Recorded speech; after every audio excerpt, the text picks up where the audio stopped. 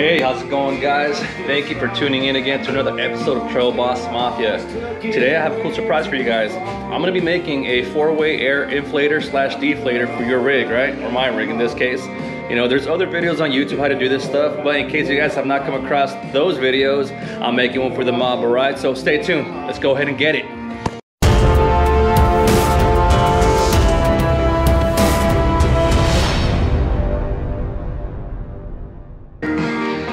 All right guys, so uh, first off, here's the, uh, the parts list real quick. I got a 50 foot quarter inch diameter flex Zilla high pressure air hose, all right? This is a pretty cool one, nice color too. Uh, reusable uh, fittings for the hose. You need the manifold, right? You're gonna hook up your air supply down here, your pressure gauge up here, right and left side air supply.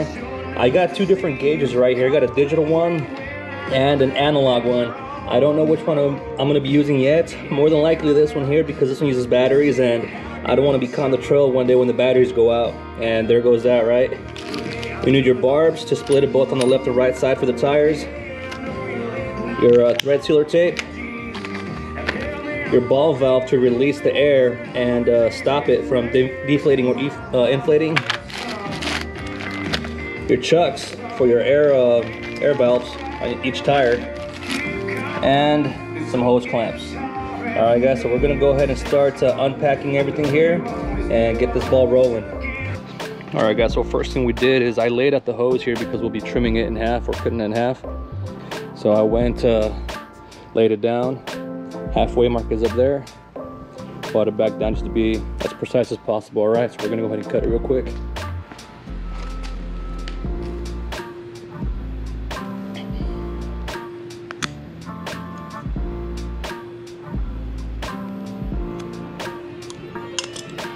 There we go. We're gonna use one for each side of the truck. One half for the driver's side, the other half for the passenger side. Forgot to mention guys, when you cut these, you wanna make sure these are as straight and flush as possible, all right? So we're gonna go ahead and fix that right now, because you can't see it's at a slight angle.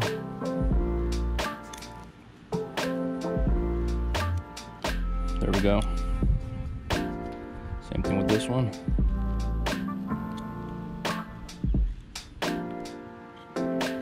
Sorry, I wish I had some better pliers for this, but that's all I have right now. So when you guys throw out your hose out here on the side of the truck, you know, you got the one half of the hose right here, the driver's side, and the other half got it over here, passenger side, all right? You guys notice I didn't go straight from the rear tire to the front of the vehicle, all right? So what you wanna do is you wanna make sure you uh, simulate the slack you're gonna need when you're filling up or airing down. So I just give myself like an extra six, seven inches over there. Come over here, make this loop because I'm gonna use part of that material to tee off into that tire. And I'm gonna come back over here and hook up to the air source, whether it be a portable pump or one that you have mounted for onboard air inside your hood, all right? So I got my two pieces of hose meeting over there and both sides have that extra slack right there that's gonna tee off into the front tires. All right, so we're gonna go ahead and start cutting this real quick. You can still see I have a little bit of slack over there. I got this hose here, so I'm gonna cut about 20 inches, a 20 inch section, all right? So I'm measuring with my tape measure. Mark it there, where I'm gonna cut. And mark it here. And I'm using a Sharpie and a tape measure just to keep everything as uniform as possible. I'm gonna go ahead and uh, do my first cut here. And again, I gotta cut this straight, all right? See how it's kind of slanted there? Oh, that one came out better. I'm just gonna fix this here real quick.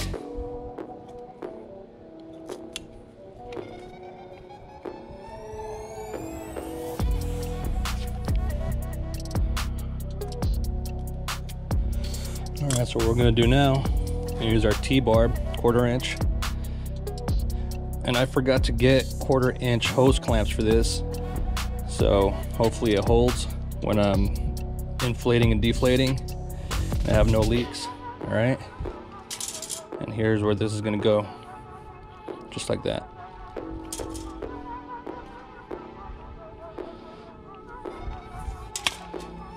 Bam. This goes to that wheel right here. And we're gonna go ahead and do the same with the other side. All right, so you can see now, start to get a better picture. You got the rear tire one over there. Front tire setup, coming straight to your air source. And you got the same issue going on over here. Rear tire, front, air source. All right, so you guys can start seeing how it's coming together.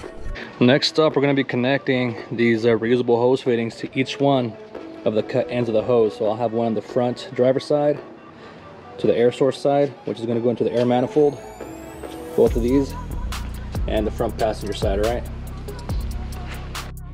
These here are reusable, which is pretty freaking awesome in case you ever decide to switch up hose color, brand, or even just uh, replace the hose if it gets damaged.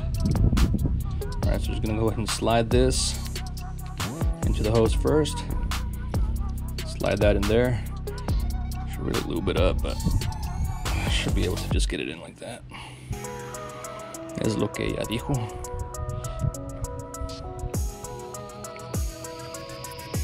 You want to make sure it goes all the way into that little base. Ooh, it's gonna hold on nice and tight.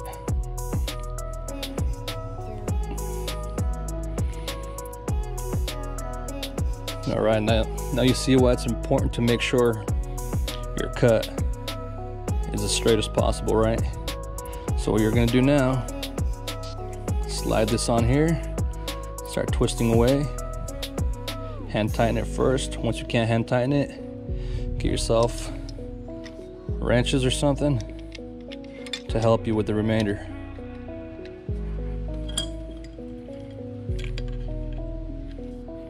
I'm not gonna get it too tight, just for the sake of not damaging anything. That should be enough to hold it. Here you go. Just slide that sucker on. There's one. We'll go ahead and do this side now.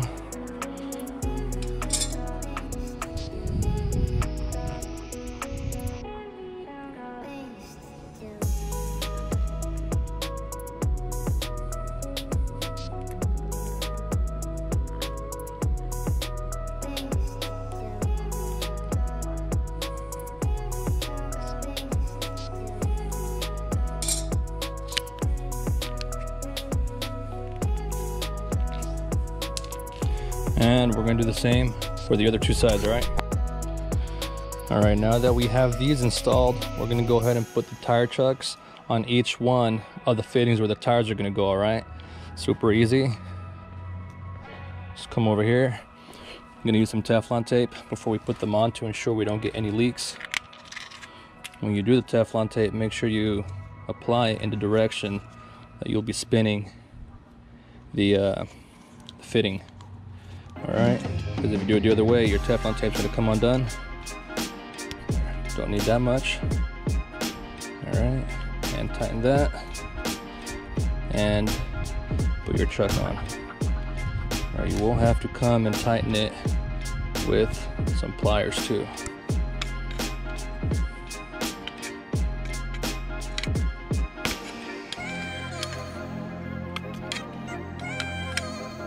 There we go. Slide this back up. And this is the uh, locking type. All right, you put it on, lock them in place.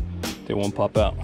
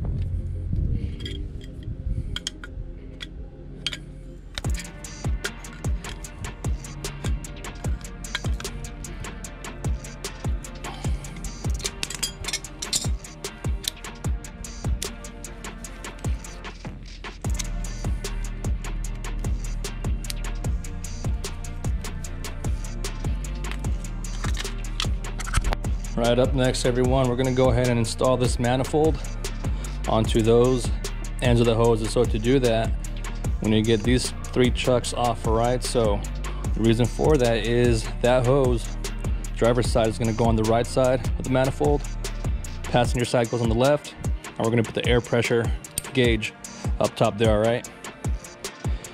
You might need a little bit of leverage when you're doing this. They are on pretty tight. One. You pretty much do the same for all three. And you will also be removing this, all right? Because that's where our on-off valve is gonna go. All right, guys, for this bottom fitting right here, this quarter inch uh, air hose fitting, you will have to clamp onto it using some vice grips and an adjustable wrench and just kind of like counter leverage it because when you take the other chucks off, you kind of lose your fulcrum points and it makes it hard to do unless you have a vice grip somewhere or vice, I'm sorry. That's the only other way you're gonna get it off, all right? There you go, it came right off.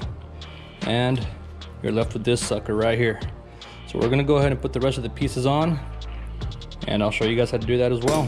And so up next, we're gonna go ahead and install our pressure gauge. All right, get that little slide piece out of here. And same thing applies, we're gonna apply the uh, Teflon tape in the direction of the spin. And if you block the air pathway just a little bit, it's no big deal, it's just Teflon tape. Air is pretty smart, finds ways, finds ways to move around. All right, so again, got your manifold right here. Go ahead and screw this in. The top hole, all right, so you got top, left, right. Your air supplier we're gonna come deflate too. Tying it pretty good. All right, make sure this is facing in the direction that you'll be holding the manifold when you're uh, getting your pressure reading, all right? So in my case, I'm gonna be holding it like this. So we're gonna have this facing your way. We're gonna have the two other hoses popping off from here. Right, gonna go ahead and uh, put these two fittings, right? The ones on the front of the truck. Gonna put them on the left and right side of this manifold. And same thing applies. I'm gonna put our little Teflon tape Go on the right side, righty tighty. Snip it.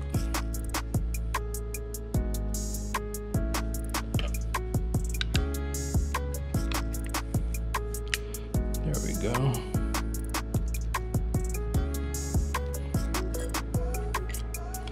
And use your adjustable wrench or whatever you have laying around to tighten the rest.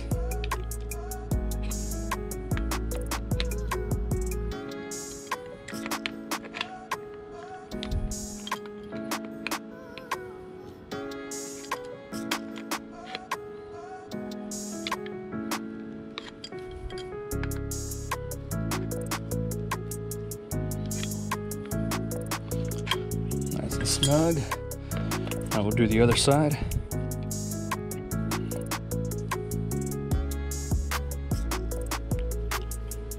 A little bit of wind breeze came through right now. Kind of threw me off. There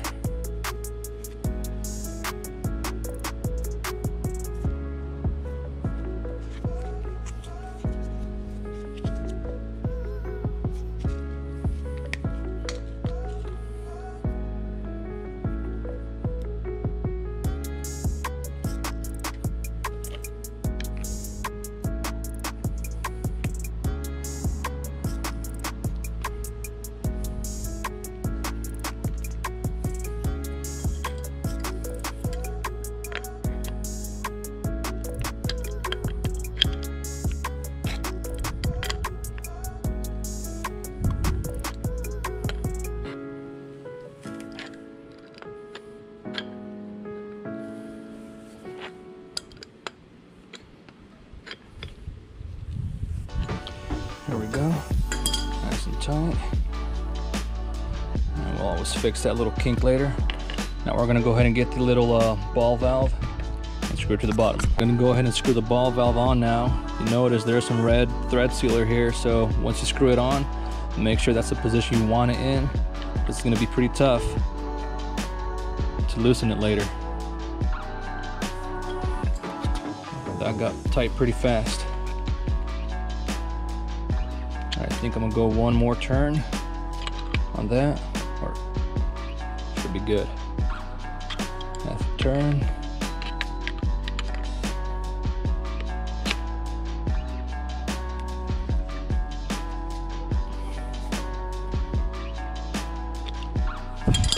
go. Air on or deflate on, off, on and off. Once you get that on, it should look a little something like this. That's super easy so far.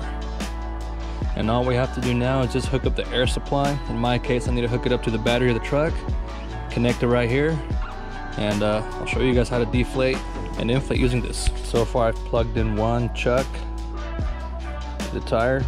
It's reading right below 40 PSI. And go ahead and plug the other one in and make sure we have consistency throughout all four tires.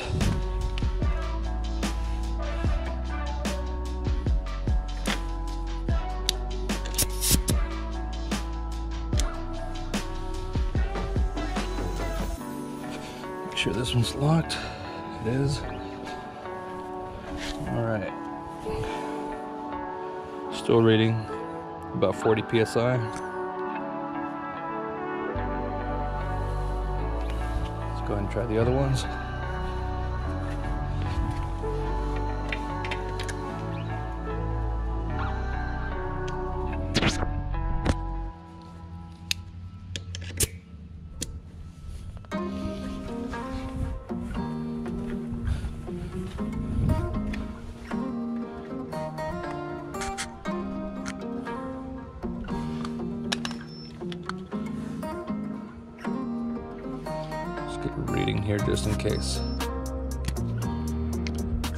Psi.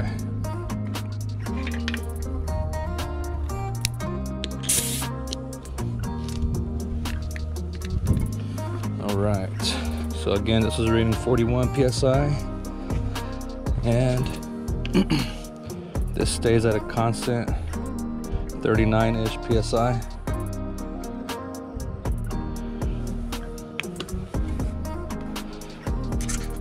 before I air up, I obviously have to air it down, so let's give it a try.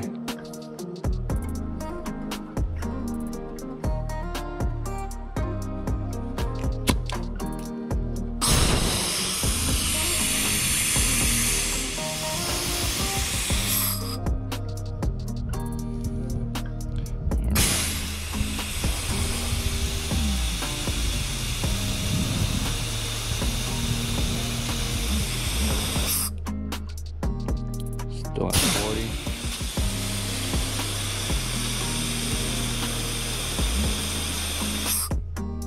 We're gonna try and go down to about 30 PSI, just for the purpose of this video.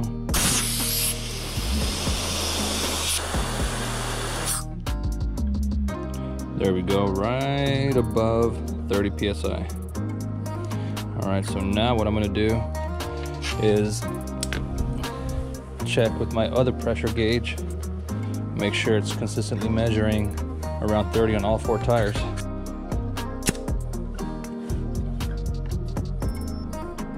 All right, this one's at 33.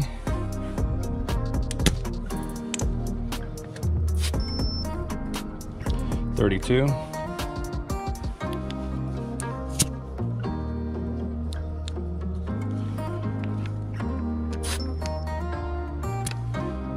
Thirty-two. 32 so there is a variance of about 2 to 3 psi on this gauge to that one. So it's something to keep in mind when airing down. This one's going to show it's lower by 2 or 3 psi all right so what i'm going to do now i'm going to hook up this hose right here. It's hooked up to my compressor. And we're going to air up. Still showing there too right above 30 psi so actually we might be good. It might be pretty accurate. All right. Go ahead and air up.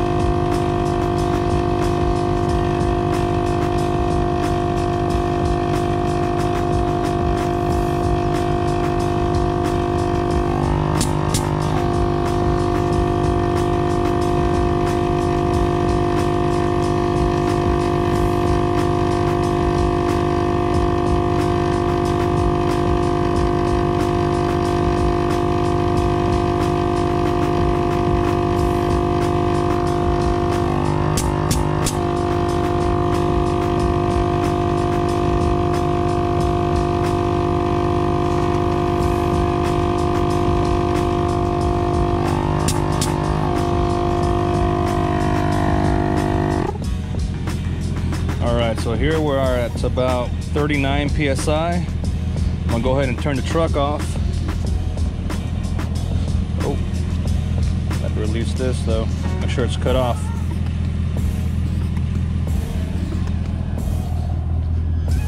I'm gonna go ahead and manually check each tire too. Again, consistency. All right, so the rear driver side, 38. Seems about right in accordance to uh, the analog gauge over there.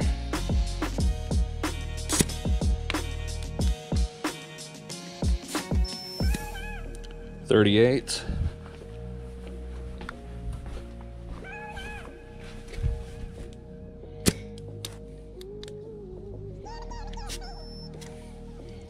Thirty-eight.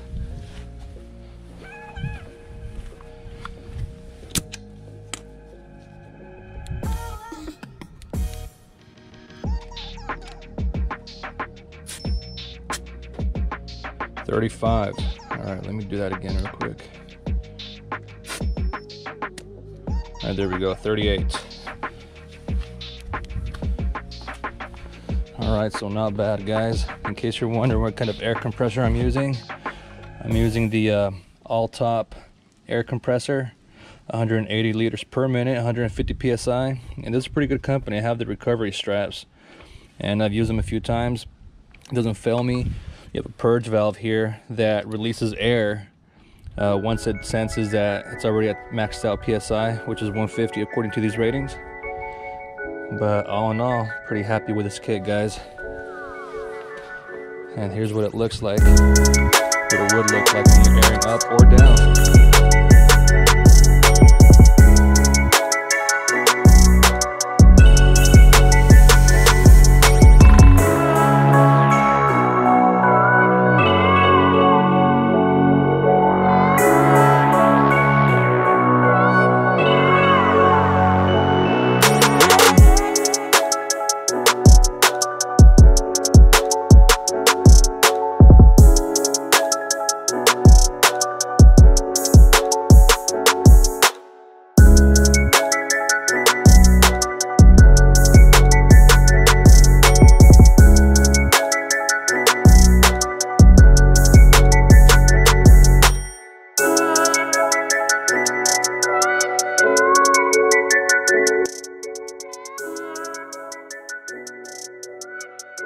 All right so there you pretty much have it guys i'm pretty uh, satisfied actually with the results of this compressor and this little uh, DIY setup here. If you guys are interested, just comment below on all the parts I used. And I'll go ahead and uh, put a link to all the parts I use in the description of the video below. I don't know how interested you guys might be. You know, I don't want to assume things, but yeah, again, just comment below if you're interested. And I'll go ahead and do that. If you want to tackle this this stuff yourself all in all with the parts including the compressor i paid about 220 240 bucks.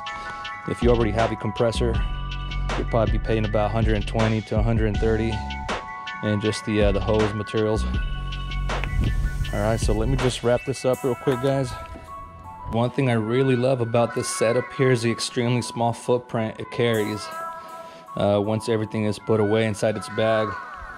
So I did get this compressor here from Alltop 4x4 for about 200 well everything together was about 200 some odd dollars. So I think I paid about 150 bucks for this compressor here approximately right? And it comes in this nice little bag. Now the cool thing is after I built this uh, DIY uh, four-way inflator deflator setup I was still able to fit everything inside the original Alltop carrying case it came with and everything fits in pretty easy. You don't feel like you're kinking hoses to just make it all fit, right?